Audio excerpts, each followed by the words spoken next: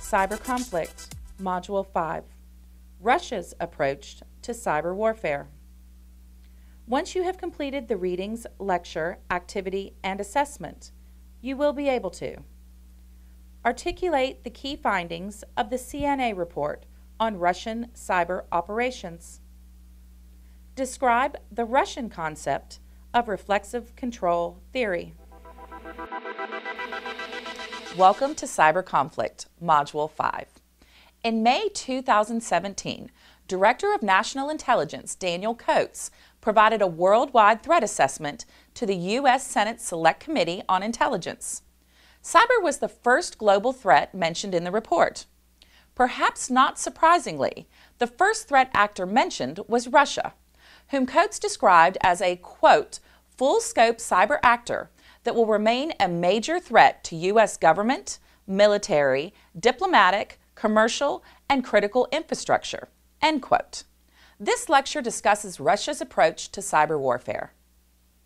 In the report, Coats noted that adversaries of the United States are gaining skills in using cyberspace to their advantage and to our disadvantage.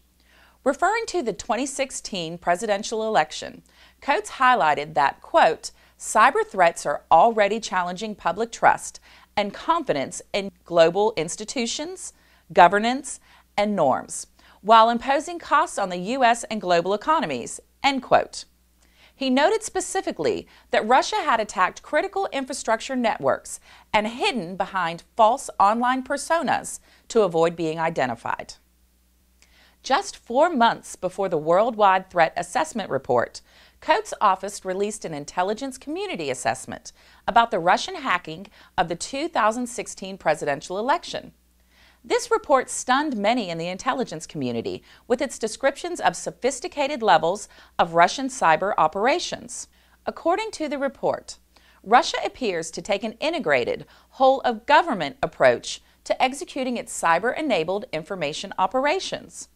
The report noted how, quote, Russia's state run propaganda machine, comprised of its domestic media apparatus, outlets targeting global audiences such as RT and Sputnik, and a network of quasi government trolls, contributed to the influence campaign by serving as a platform for Kremlin messaging to Russian and international audiences.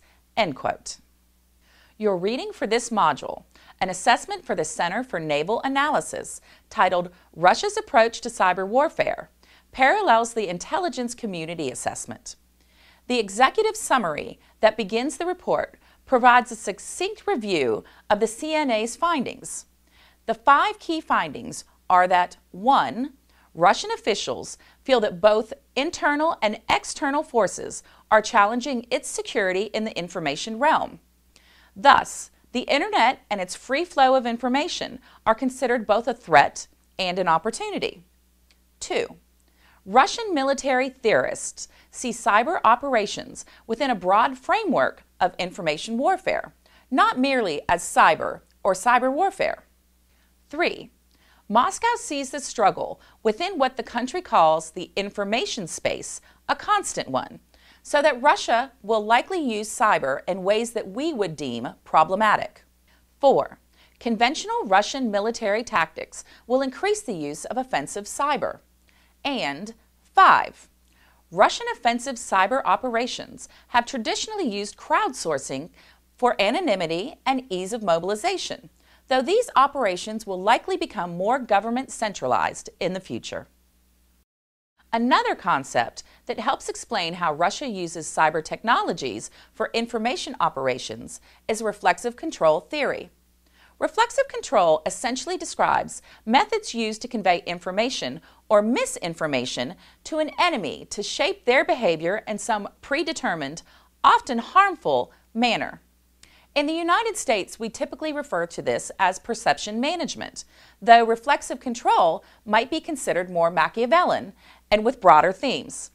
Russia has used this concept since the days of the Soviet Union, but the best recent example is the country's interference in our 2016 presidential election. Russia understood that decreasing an enemy's unity of effort becomes much easier if it can sow discord between parties or population groups, and it did this quite effectively through social media accounts like Facebook and Twitter. Certainly, Russian information operations against the United States is not only a recent occurrence. In fact, in the next module, we will consider the Russian cyber operation Moonlight Maze executed against the United States in the mid 1990s. Quiz question 1 True or false? Russian military theorists approach cyber operations within a broad framework of information warfare. The answer is true.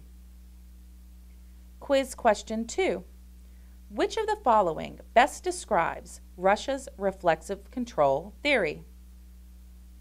A.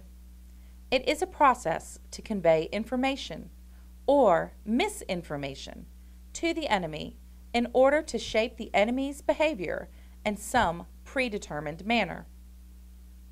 B. It is a process to disrupt U.S. communication satellites using cyber means. C. It is a theory that predicts how enemy forces will employ anti satellite weapons during a cyber conflict. D.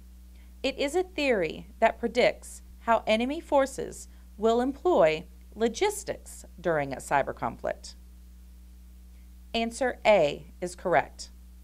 It is a process to convey information or misinformation to the enemy in order to shape the enemy's behavior in some predetermined manner.